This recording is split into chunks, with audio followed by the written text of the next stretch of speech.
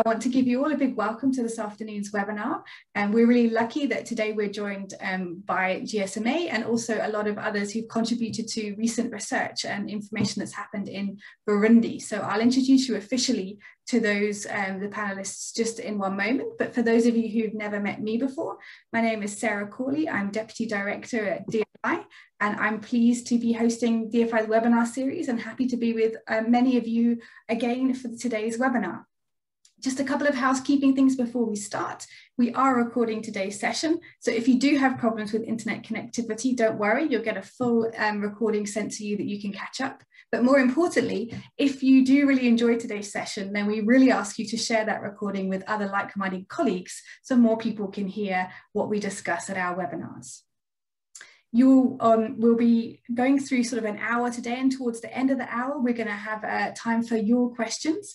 So please, I ask you to put your questions in the Q&A function, which you'll find towards the bottom of the screen. And then that way we can manage the questions and ask them a lot easier than if you um, put them in the chat. So please use that, do use that Q&A function. So we're delighted to uh, welcome back GSMA. We've had both Jenny and Zoe um, on previous webinars with us, um, and we really value their input because the GSMA do a lot of work and fantastic research and write great reports um, and do a lot of work in the humanitarian space. So it was lovely that when I uh, got a message from Jenny well asking to come back on the series because more work had been done in the country of Burundi and particularly around the concept of human-centered design, which is something that's so important, but actually something that's also quite difficult to understand how to do well and what the outcomes can be if done well for the, for the recipients. So I'm really, really glad that we've got an hour to learn more about the experiences in Burundi. We've got the experts also with us on the call that were involved in the work, um, Louisa, Theo and Wood. And I'm very much looking forward to hearing, um, hearing and learning more. So without further ado, Jenny, over to you. Thank you very much, Sarah. And welcome everyone to this webinar. It's great to see so many of you joining us. Um, by way of introduction, my name is Jenny Caswell and I'm the Director for Research and Insights at GSMA's Mobile for Humanitarian Innovation Programme. And I'm really delighted to be joined um, by such a fantastic panel who are representing both the mobile industry and the humanitarian perspectives on cash and voucher assistance programming. Before I officially introduce uh, our wonderful panel, um, and we get into the discussion, I wanted to share a bit of context on why we're exploring this specific topic on human-centered design in cash programming today. So at the GSMA, we've been exploring mobile money enabled cash and voucher assistance for the past five years or so now. And in our program, Mobile for Humanitarian Innovation, which is funded by the UK aid um, FCDO, we are seeking to accelerate the impact and delivery of digital humanitarian assistance. And this topic of mobile financial services has been one of our five core themes since the launch of our M4H program. And we've been working with our mobile operator members on the one side and our humanitarian partners on the other to catalyze partnerships and to try and unblock some of the operational challenges of leveraging mobile money for CVA delivery in contexts where it can make sense. We know as well that there's huge potential that can come from delivering cash assistance digitally through mobile money. If the time's taken to create a well-functioning digital ecosystem and to optimize digital and financial inclusion opportunities but we also know that the operating environments for mobile money to function as a delivery mechanism, but also as a useful financial service or tool for affected populations is almost always harder in humanitarian settings. And this is for a number of reasons that I'm sure many of you on the call today will know well, both on the supply side and, and on the demand or, demand or user side. Um, and we're going to hear a lot more about these challenges and potential ways to address them during the panel discussion today. But despite these numerous challenges, through our work um, at the GSMA, we've seen that when strong partnerships are created between mobile operators and humanitarian organisations, there can be huge benefits for humanitarian organisations in terms of things like increased transparency, fast and flexible delivery, or even a reduced risk to humanitarian staff who no longer have to actually physically deliver cash in envelopes. We also see benefits to mobile operators And this can include things like onboarding of new customers, increased brand recognition, and even return on investment, although this is often a challenging business case. But what we've seen time and again is that the transformational impact of digitizing CVA for the recipients of cash is often overlooked or an afterthought. And although the evidence is clear on the benefits of cash itself for end users, there still remains this dearth of evidence on the experience for end users of digitizing that process.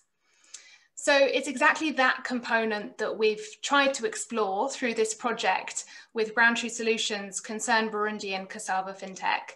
And we're really delighted that we have all of those organizations today joining us on this panel together um, with, with this group of people, we've used human-centered design methodologies to better understand the experiences of end users who have received mobile money-enabled CVA in Burundi specifically. And today we're going to hear from our excellent panel about how they think end user perspectives can be used to improve digital um, humanitarian cash programming, and also crucially how those findings from the projects are now being implemented in Burundi. So now let's um, briefly meet the panel. So firstly, I'm really delighted to introduce Théophile Bujeje, who is Concern Burundi's Social Protection Programme Coordinator. And Théophile brings a wealth of experience with him having worked for Concern for 13 years in a number of capacities, including working across Concern's social protection projects, we're also delighted to be joined by Wood Gitobu, who is General Manager at Cassava FinTech Burundi.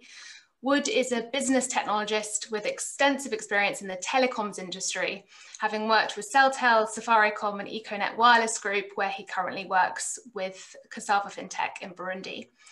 And last but not least, we're joined by Louisa Seferis, who is an independent consultant uh, with 15 years of humanitarian experience, currently working with a range of both humanitarian and social protection actors on topics from cash assistance to livelihoods to people-centered aid. And formerly in her role at Truth Solutions, Louisa led on this GSMA user journey project. We're also joined by my colleague Zoe Hamilton, uh, Insights Manager at GSMA M4H. And Zoe has extensive experience in human-centered design methods and worked on this user journey project in Burundi in 2019. So to kick us off and set the scene for us, I would like to hand over to Zoe, who is going to briefly take you over, take you through the key findings of the report that we published, and then we'll get into the panel discussion. So over to you, Zoe. Great, thanks so much, Jenny. Um, hi, everyone. Before we head over to our amazing panel, um, I thought I'd kick us off by presenting some of the key findings of, of this report. Um, and later we'll hear from the people who worked on it um, as well to, to gain a little, a little more depth to that. So this is, this is the report that we are uh, discussing today, mobile money enabled cash assistance user journeys in Burundi. Um, so as Jenny said, if designed appropriately and used in an enabling context, mobile money CVA has the potential to be transformational. It can offer benefits above and beyond the cash itself. Ideally, financial and digital inclusion can lead to a multitude of additional benefits for end users. However, programs are often designed from the perspective of humanitarian organizations rather than from the end users themselves, meaning these benefits aren't always realized in practice.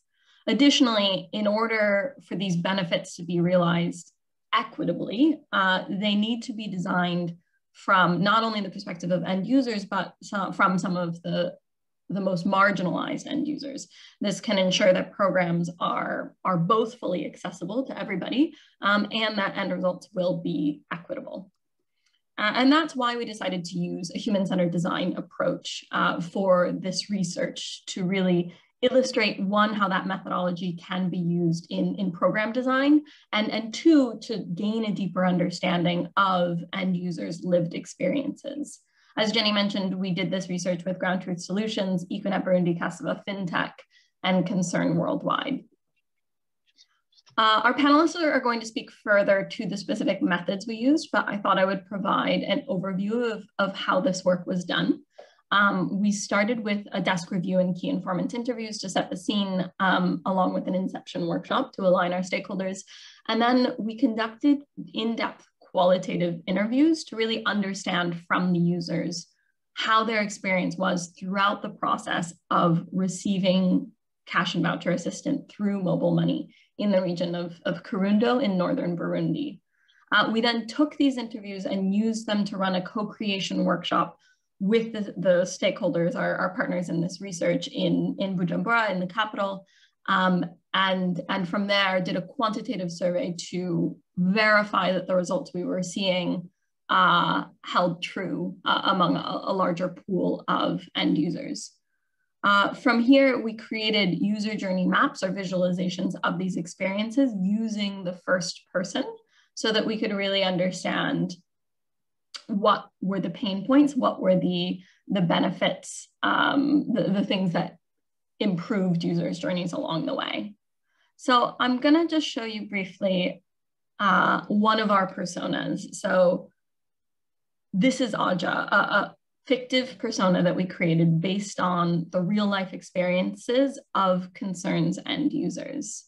Uh, while Aja is, is fictional, she represents very much the, the real demographics and, and experiences of, of users in Kirundo. Uh, so for example, Aja is a 39 year old woman. Um, she lives in a household of 11 people, including nine children.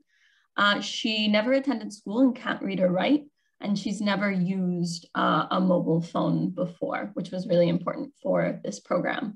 So as part of the program, Aja received a SIM card that Concern gave her, um, and she used it only on cash out days, but not for other things because she was worried it could get stolen. Um, so here we can see Aja's experience that, that we visualized from eligibility when she was first approached by Concern through the end of the program. The report contains five of these different journeys, and at each step, we identified what worked well uh, and what was a, a, challenge, which helped us identify which aspects of, of the program could be improved from a user perspective. So I'll just highlight a few of these trends before I hand over to the panel. Um, we found that, that across these user journeys, across different characteristics of end users, people's experiences were enhanced when they had someone by their side that they could trust. Uh, Concern has uh, community representatives called Mama Lumières. Um, and when Mama Lumières were, were there and, and could help them navigate the system, that enhanced their experience. Additionally, when assistance is transparent and accessible and issues were swiftly dealt with, that improved their experience. And finally, when cash assistance was built into longer term financial support. Um, in this case, there were village, uh, village savings and loans groups in Kirundo. And when people were a part of those groups, it, it made the experience better. Now, user experiences were frustrated when users didn't own or have a mobile phone. As part of this program in particular, users were not provided with a mobile phone as part of programming, which for users was a challenge. In other concern programming, however, phones are provided. Additionally, when the process wasn't explained adequately, or when they needed to shoulder additional costs to access their assistance, uh, especially those with limited mobility. So that included people who, example, who were pregnant um, or people with disabilities who might need to hire a taxi in order to access the cash out location. Uh, additionally, when users weren't encouraged to use the SIM card, uh, they were told to, to keep it aside and, and keep it safe. They couldn't access the, the potential benefits that that SIM card could have provided them. And finally, when there was a long wait time between initial targeting and receiving the cash assistance. So those are some of our uh, findings. Um, and I'll now hand back over to the panel to, to take you through um, some additional, additional aspects of that. Thank you. Wonderful. Thank you very much, Zoe, for giving us a whistle stop tour. Um, I think that's really helped to, to set some of the themes up that we're going to dig into, and we can post that report link into the chat for those of you who are interested in reading more. But for now, I want to mm. turn to our excellent panel. And first, I would love to ask Théophile to help situate us in the Burundian context. So Théophile, you've worked with Concern in Burundi for over 13 years now. Can you tell us a bit more about what the humanitarian need is in Burundi and how Concern Burundi has been responding to that need, especially with cash programming over the years? Over to you, Théophile. Hi, everyone. Um, Burundi is a, a, landlocked country in the Great Lakes region of Eastern Africa, bordered with Rwanda uh, to the north, Tanzania to the east and south, and DRC to the west. Uh, Burundi is a small country. Um, since 1993, Burundi uh, underwent various crises, uh, which have led to huge humanitarian needs. Uh, to start with, uh, since 1993, Burundi uh, underwent a fight between government and the robbers movement for almost 10 years uh, and this movement, uh, this rebel movement was born after the assassination of elected, elected president. Uh, later on in 2015, another crisis arose due to the president's uh, extension of his term for the third time. Uh, this led to massive displacement around the country and into uh, and um, outside the countries where half a million people went abroad. So today, Burundi faces many, many shocks uh, due to natural, natural disasters and climate change, namely drought, um, um, heavy rains. Uh, they destroy crops and cause internal displacement, displacement as well. We can also mention now uh, the socioeconomic impact of COVID-19 to Burundian citizens, uh, also the increase of returnees from neighboring countries, weak infrastructures, low, low resilience among uh, populations, uh, etc. In terms of humanitarian needs in Burundi, Burundi, of course, is a country which is extremely poor, uh, most of the time uh, ranked among the top last uh, by Human Development Index. Like, for example, in uh, 2019, Burundi was ranked 185 out of 189 countries. So um, the food security is an issue in Burundi uh, and uh, is among humanitarian needs in Burundi. malnutrition, we have chronic malnutrition rate, which is around 52%. Uh, and also we have acute malnutrition, acute malnutrition, which is around six six percent. These are data from 2020. In terms of protection, uh, protection issues also remain significant, uh, among them uh, housing, land and property, women and, ch and children are particularly vulnerable to the protection risks, which include gender-based violence and human trafficking as well. Uh, if you look at the HRP 2021, 2.3 million people are in need of assistance in Burundi, and among them, 700,000 uh, with acute needs, uh, according to OCHA, uh, April 2021. And if you look at the trend, humanitarian needs increased from 25% if you compare 2021 to 2020. And the recent uh, International Monetary Fund uh, report classes Burundi uh, the top last out of 193 world countries with the lowest gross domestic product per capita of 267 US dollar only. Uh, let's look at uh, concern response. Concern Burundi has been operation. Concern has been operational in Burundi since 1997. Of course, it was uh, during the war, with emergency response and currently we are implementing projects in four of the country's eight provinces. Cibitoke, which is um, uh, north uh, west, Kirundo in the north, Bubanza, and rural Bujumbura, which are around Bujumbura, the capital. Uh, concern response focuses on three sectors. One is health and nutrition, uh, social protection, including graduation model. The graduation model is the project which started cash transfer in Burundi, uh, and food security. As I mentioned, cash transfer is key uh, approach of Concern Burundi and has implemented in different projects aiming to support consumption needs for the most vulnerable and those affected by the shocks. Uh, cash transfer also facilitates the startup of income generating activities because also do some trainings on business and facilitate access to credit to increase resilience and nutrition.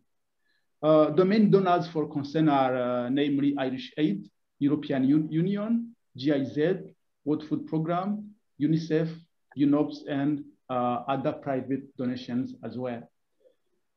Over to you, Jenny. Thank you very much, Theophile, and for, for outlining and, and situating us in, in Burundi. Clearly, there's a huge humanitarian need, and it sounds like Concern has been doing some really amazing work to respond to that need. I'd be very interested to hear from Wood, um, who is from Cassava FinTech, to to hear a bit a more a bit more about how the private sector and mobile operators, more specifically, have been leveraging digital services to also respond to some of these humanitarian needs. So, Wood, could you speak a little bit to um, the fact that Cassava FinTech has been increasingly working with humanitarian actors like Concern in Burundi, and what your experience has been of partnering with such organizations and how this has been evolving over time.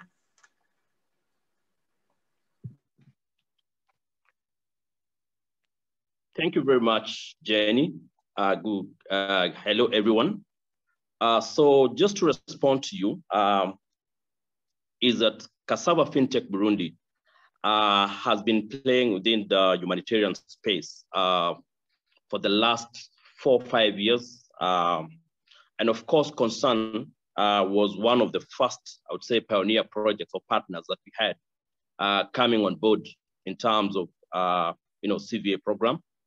So uh, after the experience with Concern, uh, I think a number, or rather, a number of other uh, humanitarian players within or actors within Burundi, uh, you know, they are now coming in to, you know, embrace the, uh, the technology uh, in terms of pushing humanitarian agenda.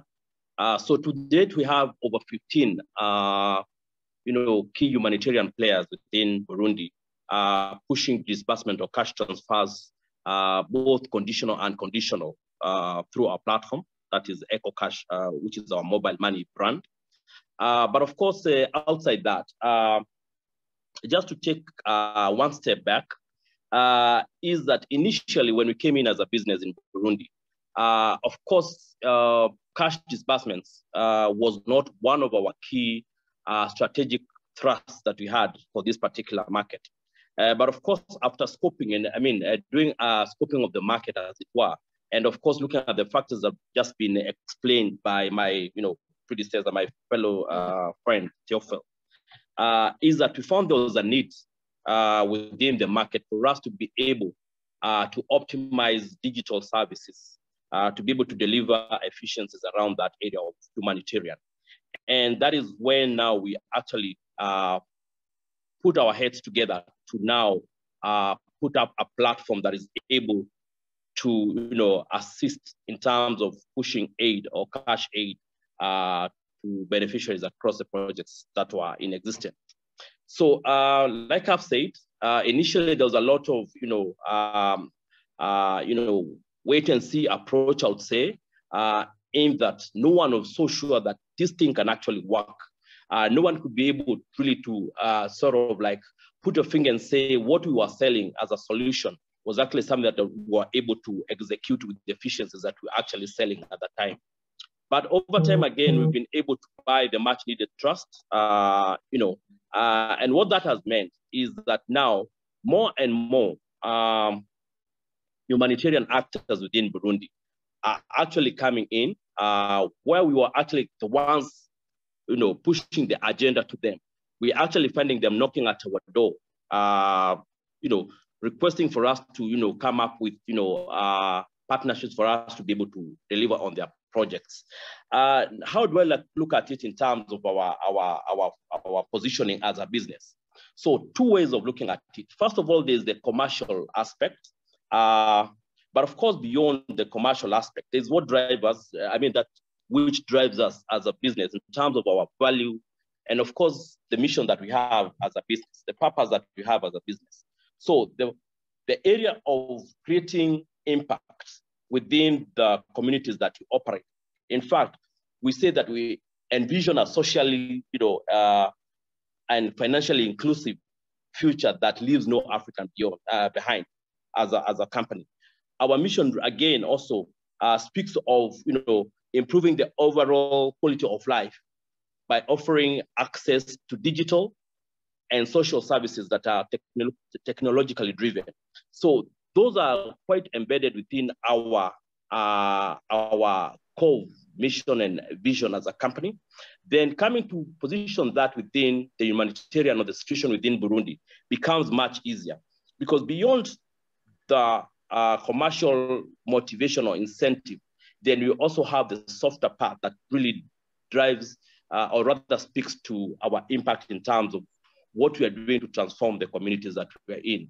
So uh, in a nutshell, I'd say um, not only concern international, but now we have key uh, humanitarian players. Uh, most recently, uh, we have UN bodies now coming, or rather UN agencies coming in. Uh, we already have projects running under UNHCR. We have engagements with UNDP. We have engagements with uh, IOM. We have uh, a contract ready to sign with World Food Program. All these now borrowing from the successes that we've seen coming from these first uh, projects that we ran with Concern. Very again interesting was how this particular project was run because it again acts as a key benchmark for the new players that are coming on board. Um, you know, starting from uh, the fact that it was the first of a project that we were able to actually have a forum whereby we were able to collect feedback, uh, not only as the operator, but you know, it was a tripartite kind of a feedback session that we had and we had to keep our, I mean, we had to borrow a lot of insights from that, which again have helped us over time to be able to, you know, optimize and improve some of our, you know, uh, our processes to ensure that as we move by, we continue to better our services at the end of the day. So I think in a nutshell, that is what it is uh, in Burundi. And I think we should be able to, you know, uh, to dis dissect further and, you know, be able to bring out more information and more insights as we continue this discussion. Thanks, Jenny. Back to you. Thanks very much, Wood. It, it, certainly sounds like you have your hands full with, as you mentioned, over 15 humanitarian organizations now in the country using EcoCash. Um, so I don't envy you with the, with the huge amount of work that that must mean. I notice you also mentioned trust, which has been at the center of strengthening the relationships and heightening the demand. And on the topic of uh, relationships, I, I think um, it would be really good to go back to understanding a bit more about this partnership and this relationship between Concern and Cassava FinTech um, that we initially identified in 2019 as a potential user journey project for, for this research. Um, and so, Louisa, you, you might remember, I think towards the end of 2019, we approached you in your former role at Ground Solutions to see if you were uh, willing to, to work with GSMA to conduct user journeys to better understand experiences and needs and preferences of end users in Burundi. I wonder if you can share a bit more, maybe firstly about Ground Solutions user journey methodology at large, and then walk us through a little bit more the key steps that you undertook in Burundi, so drawing on um, what Zoe had presented a little bit earlier. Yeah, thanks, and thanks for having me. Um, for those of you who aren't familiar, Ground Truth Solutions is a is a non-governmental organization based out of Vienna that supports humanitarian um, actors to to look at uh, aid recipients' perspective on the assistance they receive and to amplify their voices, um, both at the local and the and the international levels. So, I mean, as many of you are probably aware of, and I see we have a lot of different participants um, from around the world, and that's great. User journeys are just one tool um, that can be used in human-centered approaches, um, and they're generally kind of a bit more labor-intensive, but really offer those those deeper insights. And they can be used at the beginning of a program to kind of design and and, and launch that that program, or as was the case here, to evaluate and iterate the learning to better understand recipients' experiences. And that looks a little bit different than, uh, for example, user-centered design that might be developing a specific product. And what's great about this, and particularly bringing together a humanitarian actor like like uh, Concern um, with uh, Cassava FinTech, is that it flips the mindset, right? And so the methodology might look fairly standard from, from what has been presented, but I think the fantastic insights come from these iterative processes. And that's something that ground truth, whether we're looking at the, the quantitative perception surveys that are done um, throughout humanitarian responses in the, um, in, uh, well, across the globe, and more mixed methods approaches, which is what was used in this case, um, is really how you get those, those workshops and those discussions. I saw that Malik had a question around what goes into an inception and co-creation workshop. Obviously, we don't have time to go into all the details, but I think the important thing to note in this methodology is that there's always this sense check and this, this co-creation aspect of validating not only the objectives and what the audiences offer this research, but to define the target groups and how we think they might experience the program. And why that's important is because human-centered design doesn't actually mean ignoring our perspectives as humanitarians or as mobile network operators. It's actually recognizing that we might have inherent perceptions or biases um, in how we approach program design and how we design products, particularly when we're talking about vulnerable uh, segments of the population. You know, Burundi has a really flourishing, as, as Wood and Théophile were talking about, mobile money um, landscape. In Kirundo in particular, and with the communities where um, concern works, that may or may not be the case. And that's really about exploring then how people experience this program. And, and I think the last kind of key element here in this particular process that, that is really central to how ground truth approaches user journeys um, is the mixed methods. So being able to dive into these intimate conversations with recipients, um, which are very qualitative, very exploratory, borrowing on you know ethnographic and, and, and other techniques um, to really uh, gain that insight into people's experiences. Um, but at the same time, being able to quantify or validate those findings via the survey, um, which has a representative sample, is a really powerful tool. Thanks, Jenny. Thank you for, for that overview. And I'm particularly interested to hear from your experience whether there was anything particularly unique about undertaking the user journey approach in Kirundo in Burundi compared with the other settings that you've worked in with uh, ground truth solutions human-centered design approaches. Was there any way that you had to kind of adapt the methodology? And and how did the findings either complement or differ from the other settings in which you'd previously worked I mean, it's a great question. And I think, uh, you know, we all grappled, and this is why personally I, am a huge fan of human centered design techniques, just because um, it's really about opening up these processes and discussing them collaboratively. So previously, um, and those of you who have probably seen on, a, on the Ground Truth uh, website, is that we were looking at uh, the kind of personas or differences in experiences between payment systems. So in Kenya, it was comparing the experience of someone receiving mobile money with an ATM card or an electronic voucher to purchase food. Um, in Iraq, it was something similar as well. Um, and here we were really looking at different personas within one program. And that changed the perspective in terms of looking at what are the characteristics that influence people's experiences. And so, as I mentioned in the Inception workshop, we we unpacked that from the Cassava FinTech perspective, how they saw this particular subset of clients um, experiencing the products and how concern um, saw uh, the recipient groups uh, engaging with uh, the program. I think it's important to mention here that um, recipients were receiving a SIM card um, through which they would get cash out. Um, and that was not connected to a specific device as was the graduation program that Théophile mentioned where people were receiving a phone. And that's a very, very important finding here. Um, and also important to underline that the program we looked at was a six month humanitarian program that was really aimed at alleviating the economic burden that families and in particular women face um, when children show symptoms of malnutrition, which those of you, I see a lot of people joining from Burundi um, know uh, better than, than everyone else around the, the kind of the, the contextual factors that, that um, contribute to malnutrition. And so what was unique in this is that we had a fairly homogenous group of mainly women, and that's where the personas really reflect um, was predominantly women. Um, there were low levels of reading and writing and of digital literacy in this area. And so it made it a harder context to talk about mobile money. Um, you'll see in Zoe's presentation in the report, we used cards and pictograms to talk about the different functions that a SIM card could have. And by and large, most people were not familiar with them. Um, and so what that made us as Ground Truth have to challenge is that um, it's not just about thinking of, of, vulnerabilities in a humanitarian sense or thinking of clients as, as kind of different user groups, but really stepping into people's shoes and understanding that different profiles and capacities may actually look like similar journeys if people's priorities and barriers are similar.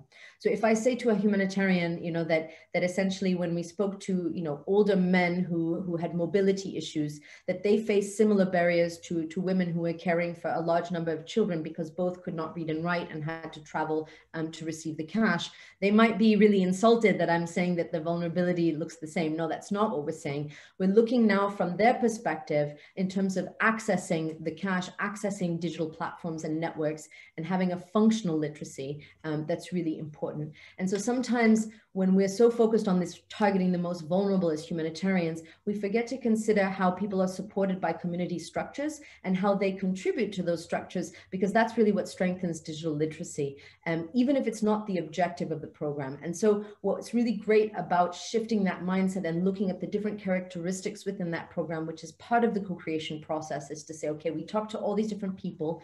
We saw that this is how they experience the program. What are those key profiles? What are those key characteristics that make the journeys different. Um, it then allows us to look at how people navigate those community structures and it's much more empowering and, and, it enables us to dig into those experiences. And the Maman Lumière or the light mothers that were mentioned, you know, Concern developed those for a completely different purpose to support women who were who were dealing with very difficult situations and, and caring for malnourished children. Those women turned out to be the best asset um, in terms of navigating the how to receive um, cash via mobile money.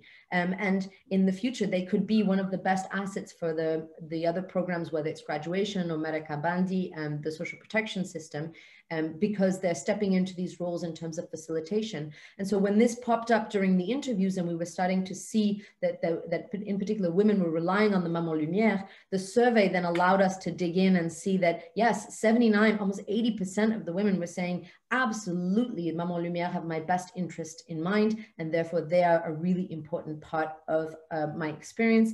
And that means that then not only Concern, but other um, humanitarian actors and, and FinTech can look look at the Maman Lumière in a new light when we're talking about enabling access of certain populations to these digital platforms. Wonderful, thanks. Thanks, Louisa. I think you touched on a lot of fascinating points there. And one of the things that really resonated, I think, with, with us in the experience was the really central role of these community structures that you've mentioned, especially the, the potential for the Maman Lumière to actually support the program even more than, than they had been doing so in the past. And I'm interested um, from, from Théophile to hear from your perspective because you're working with these CAS recipients on a daily basis.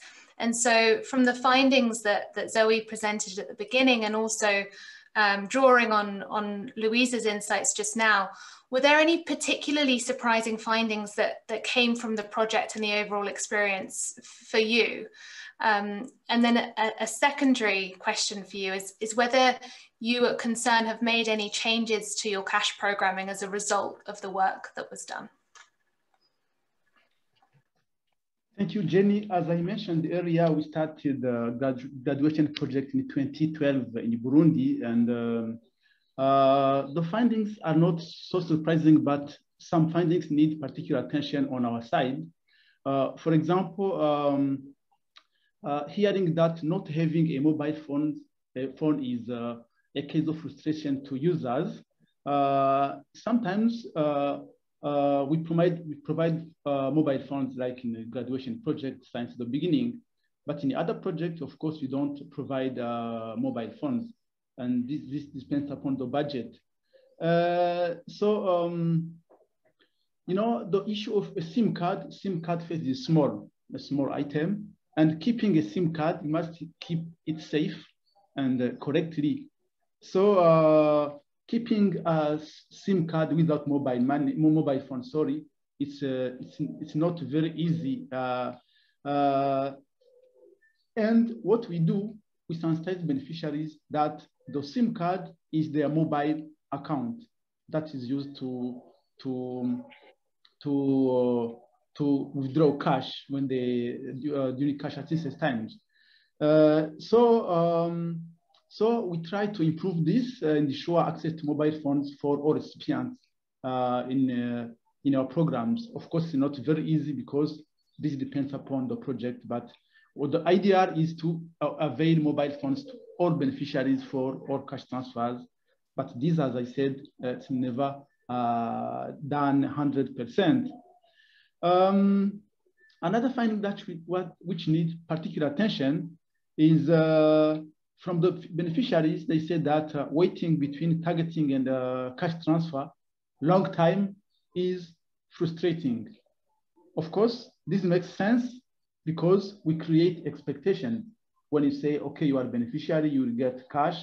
Uh, when you explain the process and you wait for a long time, these, of course, uh, make beneficiary lose their expectations uh, or say they, they, their, their trust, for example.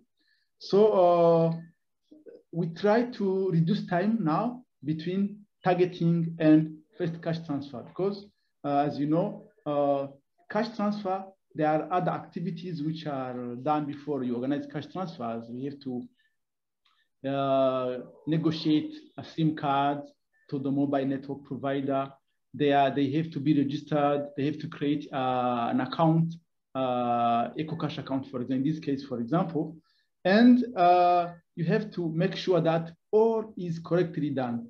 And especially with the uh, regulations now, uh, no SIM card in Burundi can be activated without proper registration. And this require uh, that beneficiary uh, have or his or her identifications, uh, photographs, and photographs of also the ID card to, for them to activate the the SIM card. So uh, what we do then, we also sensitize uh, beneficiaries on uh, how it works because it's very important. It's very important because um, if they don't know or the process, we have some cases, like for example, when we started in 2013, during the targeting, uh, it was in Cibitoke, I remember I was still working there. Beneficiaries, five beneficiaries out of 1,000 refused the aid, saying that we cannot accept, even we are poor, we cannot accept money coming from the mobile phone. They said it's from the devil. It's not, it's not unbelievable. Un, unbelievable. So then they, they Wood is laughing. so they, they refused to try to convince them, but they said, no, no, no, no. We, we, we, we prefer to remain poor rather than accepting money from uh, coming from the air, from the, the, the mobile phones. Uh, of course, what we do also to teach uh, beneficiaries what is the other use of mobile, mobile phones or SIM cards beyond receiving cash transfer because uh, mobile phones are used for communications. They can also communicate with their friends, their relatives, their, um, they, they can also use uh, to get uh, cash or send cash later. And also, uh, once an account is created, beneficiaries can keep using uh, the, the, the account created for the transactions they need.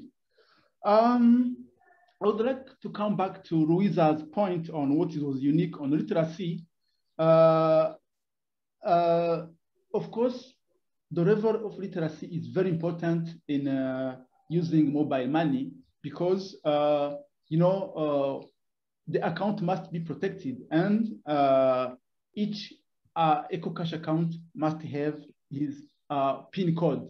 And the PIN code is made of, made of four digits.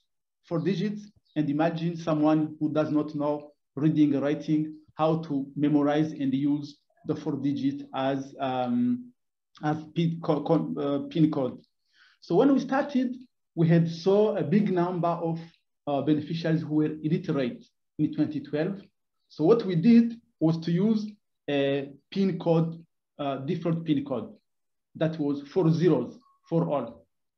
But uh, it was dangerous, of course, because, um, you know, if they have similar PIN code, it's easy that someone, if someone gets um, the mobile phone or the SIM card of his uh, or her neighbor, it's easy to uh, access to the account and start and, and make transactions.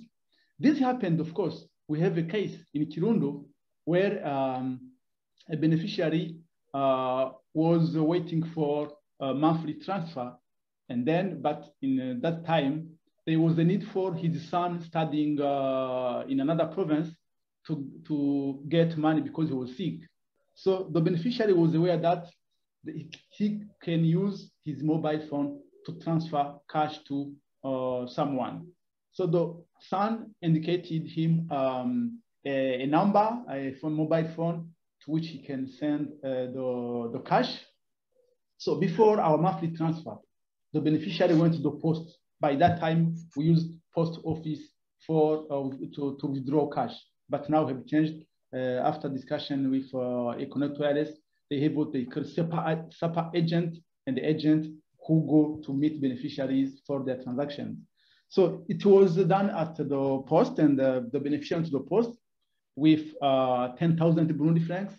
Ask the post agent, uh, please, I heard that it's possible to send this money using this mobile phone to my son who is in another province. Said, okay, it can help you. So once the um, the post agent accesses accesses to his uh, his uh, account because the PIN code was default, was four zeros, and uh, it was known by post agent agents. So the post agent found that the beneficiary has a balance of 24,500 Burundi francs. He said, wow, how come? That man does not know that his money in his account. Maybe he forgot this money. So before doing the, the required operation, the agent transferred the money from the beneficiary to his own account. Two days later, when they invited to go to cash withdrawal, the there was, of course, the account was empty. So we discussed with um, a connect agent. They showed that show us uh, they showed us a list of transactions, and we came to know that the transaction was done two days before by the same agent to his own number, of course which is bizarre, of course. So this is to mention, uh, of course, that the level of literacy is very important and an impact on um, uh, cash transfer transactions. Over to you, Jenny. Thank you, Théophile. So yes, lots of challenges that I think many of us are familiar with that interestingly, I think span across many different contexts. Um, and I think many of those challenges as well were very much validated by the end users through through this research that we did. Um, I would be interested to hear Wood's reactions to, to some of um, those, those challenges and um, at the same time would also like to ask Wood a little bit more about this co-creation workshop because as Louisa said, um, we have a question from the audience about that co-creation uh, workshop. Um, so could you explain a bit more, Wood, about what happened in the validation workshop um, and how, how you found the experience? Did, did you think that it kind of highlighted anything new to you that you hadn't previously considered? So over to you.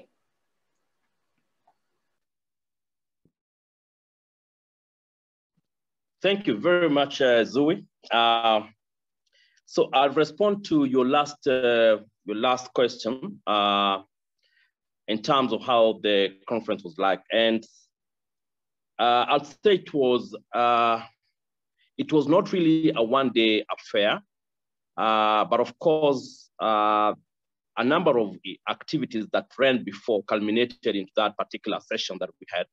Uh, but of course, uh, that was the climax of it, in that uh, we were able as an operator specifically, for the first time, to be able to get feedback and insights uh, as regards our own operations in terms of what we offered as a platform, uh, the experiences from the users or the beneficiaries themselves who are very critical in all this, and of course, also experience from our partner. So um, key for me was that unlike other projects that we had run before, uh, we had never had that opportunity uh, to really uh, sort of get candid feedback uh, and particularly feedback that was coming uh, almost verbatim from the beneficiaries themselves.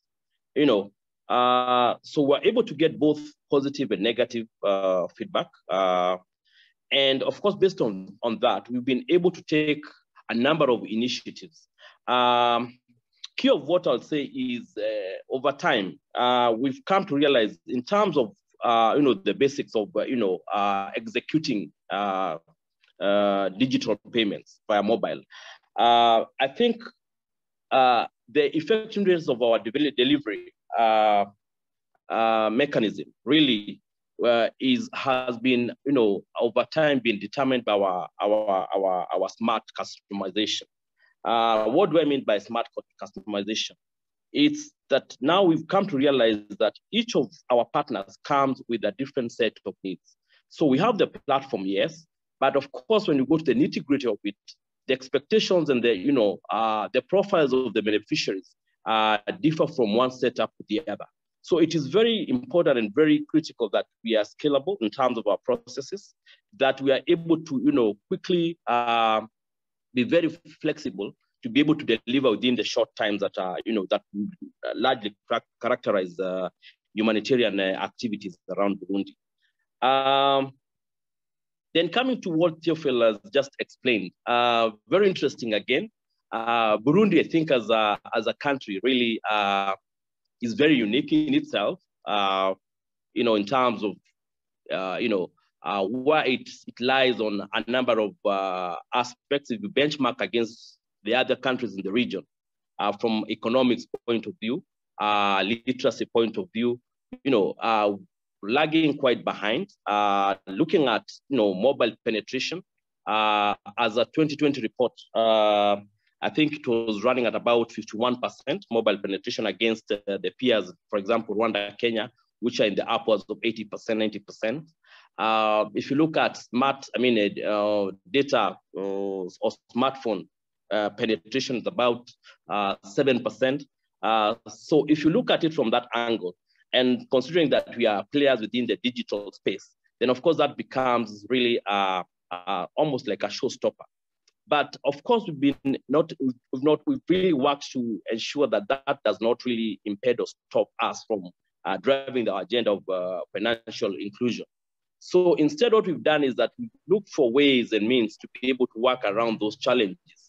Um, you've spoken about, uh, you know, uh, no low knowledge in terms of how to operate uh, devices uh, in some of the populations, especially the ones uh, that were targeted by this project with the concern, because they were women uh, uh, and some of them were really elderly and not really educated. So one of the things that we've done over time, because the concerns that have come to us border on the agent's code of conduct, uh, and of course, even the data privacy uh, of the beneficiaries. Those are very critical areas of concern, both for the project owners and of course, uh, the beneficiaries themselves. So as an operation in Burundi, I think we've uh, actually come up with, uh, we are already working on two um, uh, policy papers or kind of guidance that is gonna govern how we transact business or around the humanitarian space. And once this is out, I think it should be like the first, if not globally, uh, I think within Africa and the region, whereby we are coming up with an agent code of conduct uh, under humanitarian. And secondly, we're also coming up with data protection policy under humanitarian. And we're working very closely again with GSMA on that. Uh, so um, I think that's coming out as a key, you know, key selling point for our services and for the platform especially for the bigger players who are now coming on board to be able to embark on a, you know, CVA programs with their projects. Um, then again, if you look at it, uh, there's also big challenges in terms of uh, uh, agent network because, of course, uh, we require agent network to be able to dispense the monies. Uh, and if you look at the setup of this project, it was actually in one of the poorest provinces in Burundi.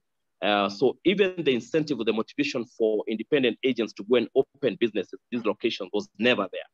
So what we had to do is that we had to really, uh, we, are, we, are, we really had to very quickly mobilize and set up a mobile agent team that was able to attend to the need uh, at very short notice. Uh, but again, very important is that we're also able to leverage now the community structures that she talked about in that now currently as we speak, uh, we no, no, longer need to, for any other projects, even outside uh, concern, we do not need to uh, carry these agents to the location, but rather we've developed agents within the structures. The structures they have, the community leaders they have, are the same people that over time we've developed to be agents that represent us in those locations. So that has been able to uh, not only create, uh, you know, economic vibrance within those communities, but also extend our services where it was, uh, you know, very difficult before uh, to reach out in terms of our provision for services. Uh, so I think, uh, Jenny, uh, that is be that would be my response. Uh, I hope I've been able to respond adequately to what has been asked. Back to you.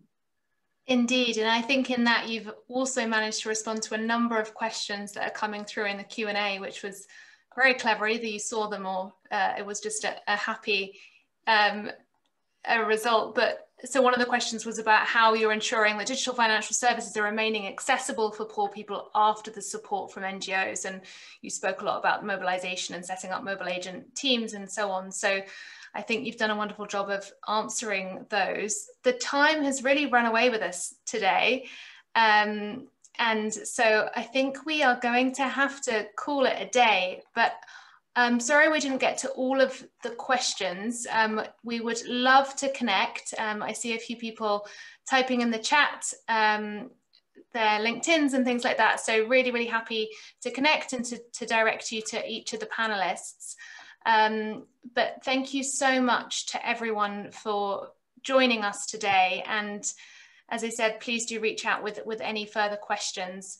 But on that note, um, I wanted to say a huge thank you to our excellent panelists. It was wonderful how we could have one of you from each organization um, speaking from, from very different standpoints, but really kind of really showcasing the importance of coming together to work as a team for the benefit of the end users ultimately. And on that note, um, I will hand back to Sarah. Thank you everyone once again. Thank you so much, Jenny, and also to Louisa, Théophile, Wood, and Zoe. It's been a really interesting webinar, and I think, Jenny, you summed it up quite nicely there, which is sort of one of the things that I'm kind of leaving this webinar um, with is actually if you get the right people coming to try and work together. So you've got, you know, the experts in, in trying to understand how to do a really good kind of study, you know, mixing those, you know, in-depth interviews to really unpick the detail in people's lives through to actually, you know, sort of validating the results through the quantitative. And then you work with a development sector who knows the market really well. And, and I mean, this idea of using community leaders as trainers and potential new agents, I mean, you know, that's, that's a fantastic insight. And then coupled with working with someone who is as open to getting feedback from both the humanitarian and the end user as, as Wood and his team are, um, I think that makes you know, a wonderful collaboration that actually you know, is beneficial to all. It, you know, it meets the, it helps concern meet their aims. It helps um, you know, uh, EcoCash meet their aims as well in terms of both their mission, um, sorry, vision and mission. And it also reaches that end user um, who now hopefully begins to be more financially included and also hopefully has their financial overall financial health improved and new opportunities opened as well. So it's been an absolutely fascinating discussion. I really encourage anyone on the call to, to dive deep into that report. We are also going to share the recording, the link to the report and one's LinkedIn profiles in an email with everybody who signed up and that will come out either tomorrow or the day after. So we will make sure that you can all connect and stay in touch and continue this really important discussion. Um, thank you so much, uh, panelists and to attendees for joining us. And we look forward to seeing you all in a webinar again soon. Have a great day, everybody. Bye-bye.